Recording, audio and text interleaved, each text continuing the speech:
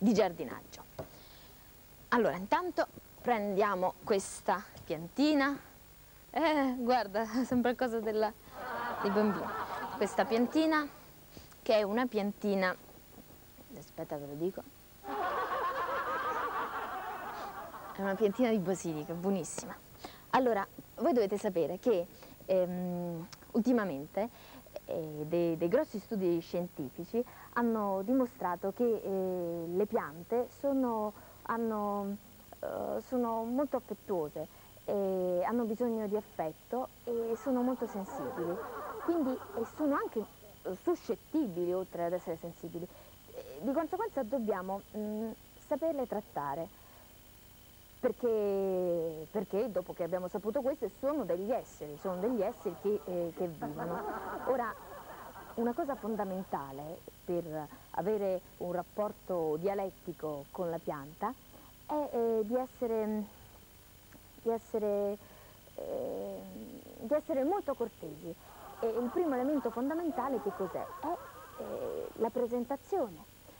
Ora, eh, come, come ci si presenta la pianta? E, ehm, ovviamente non è che noi possiamo dire, eh, beh, ciao, io sono Carlotta, eh, lei mi risponde, io, io, sono, io sono Mary Lou.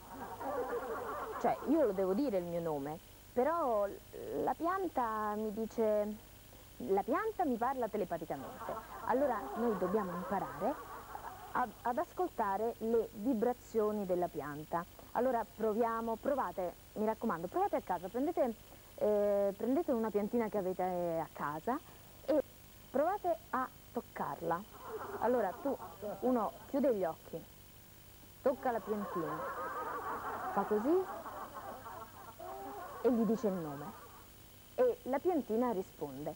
E guardate che non è poi così difficile perché eh, in effetti è, è, più, è più semplice riuscire a capire una pianta che un uomo perché quante volte vi è capitato ad esempio che una persona vi parla, vi parla con la vostra stessa lingua e, e, e non capite assolutamente niente.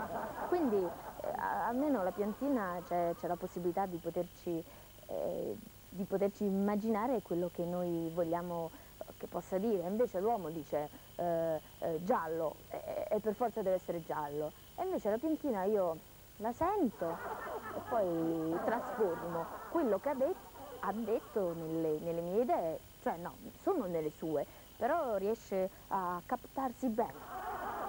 Un'altra cosa importante della piantina, vedete come io, come io la tengo, è riuscire a capire, a capire il sesso, eh, perché facciamo conto che eh, la piantina è una pianta femmina e io sono un uomo maschio, eh, beh mica posso, mica posso dire ehi ciao, eh, eh, devo riuscire ad essere eh, più, più, galante, più, più carino.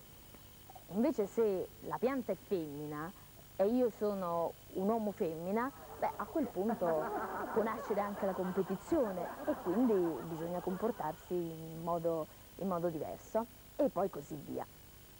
Un'altra cosa importante è riuscire a capire l'età.